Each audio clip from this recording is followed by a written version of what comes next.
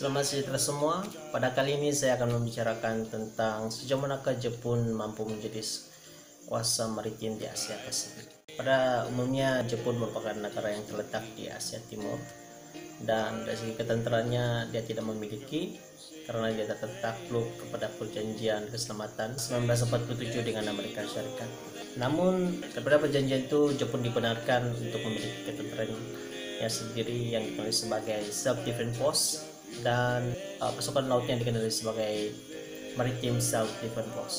Bagi menjawab persoalan ini kita harus melihat kepada empat aspek utama yaitu yang pertama ya sumber manusia, yang kedua dari segi keuangan pertahanan, yang ketiga dari segi teknologi, yang keempat dari segi kerjasama pertahanan. Yang pertama dari segi sumber manusia kita boleh rujuk dari segi keperluan negara untuk melibatkan rakyatnya dalam uh, pasukan keselamatan. Di Jepun, case seperti ini adalah sangat rumit karena kalau terlihat dari segi pertumbuhan penduduknya sangat merosot seban tahun. Menyebabkan uh, keanggotaan untuk pasukan ketenteraannya itu adalah sangat-sangat sedikit. Bagi generasi muda, orang tidak berminat mencoba bidang ini karena lebih minat mencuri bidang yang mempunyai pendapatan yang lebih tinggi.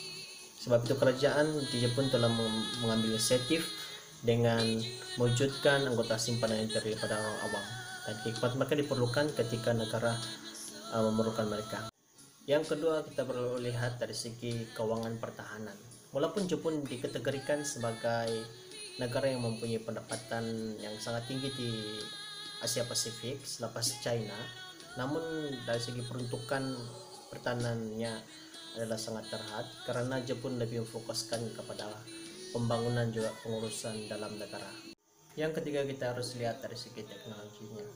Jepun merupakan negara yang telah mendahului negara-negara lain dari segi teknologi dan kecanggihan teknologi Jepun pada hari pada hari ini telah menyemai teknologi yang terdapat di Amerika Serikat, di Jerman dan Prancis. Malahan sedekat lalu Jepun telah membangunkan ataupun telah mengaplikasikan teknologi ini ke arah ketenteraan dengan bantuan Amerika Syarikat.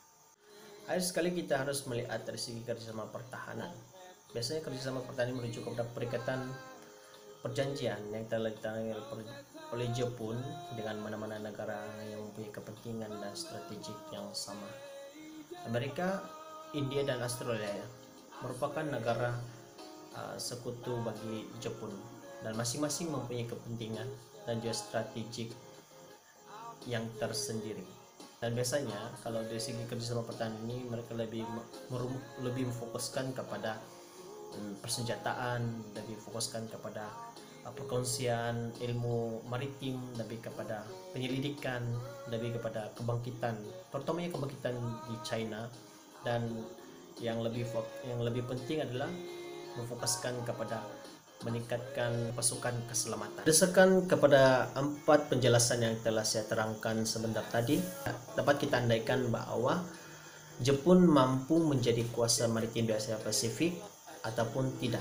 Jika Jepun ingin menjadi kuasa maritim di Asia Pasifik, pertama Jepun harus mengubah suai dia punya polisi kepada polisi yang lebih realistik dengan ketetapan sistemik antara bangsa. Yang kedua, Jepun harus menghapus Undang-Undang Keselamatan 1947 dalam artikel 9 dengan Amerika Syarikat, maksudnya tentangan dengan Amerika Syarikat dan undang-undang ini telah menghalang Jepun untuk membentuk uh, ketenteraannya sendiri. Seterusnya, uh, Jepun tidak boleh bergantung sepenuhnya ter, uh, kepada jaminan yang telah dibuat oleh Amerika Syarikat di waktu-waktu kecemasan karena sekiranya Amerika Serikat sendiri pun mengalami uh, ancaman daripada dalam ataupun luar negara belum tentu Amerika Serikat dapat menjamin keselamatan dan kedaulatan uh, negara bagi Jepun sebab itu Jepun perlu sentiasa berwaspada ataupun sentiasa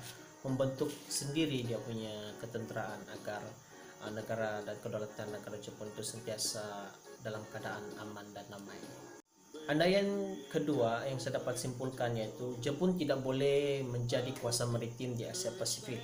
Kenapa? Sebab Jepun terikat dengan Undang-Undang Keselamatan 1947 dan undang-undang ini telah mengikat Jepun daripada membentuk tenteranya sendiri ataupun melibatkan diri di peringkat antarabangsa.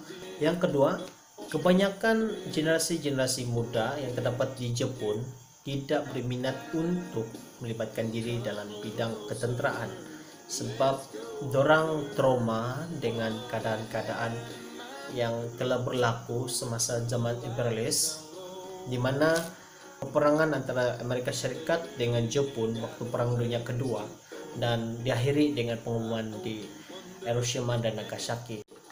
Cara kesimpulannya saya dapat rumuskan bahwa untuk menjadi sebuah negara yang kuat dan mantap, sebuah negara perlu memenuhi beberapa karakteristik yaitu yang pertama dari segi kemajuan teknologi, yang kedua dari segi sumber manusia, yang tiga dari segi polisi yang lebih efektif, dan yang keempat dari segi kerjasama antara bangsa. Dari segi perspektif Jepun adalah sangat penting karena inilah salah satu bagaimana Jepun uh, mempunyai hubungan diplomatik antara antara negara luar dan salah satunya untuk membangunkan negaranya jadi itu saja daripada saya. Sekian dan terima kasih.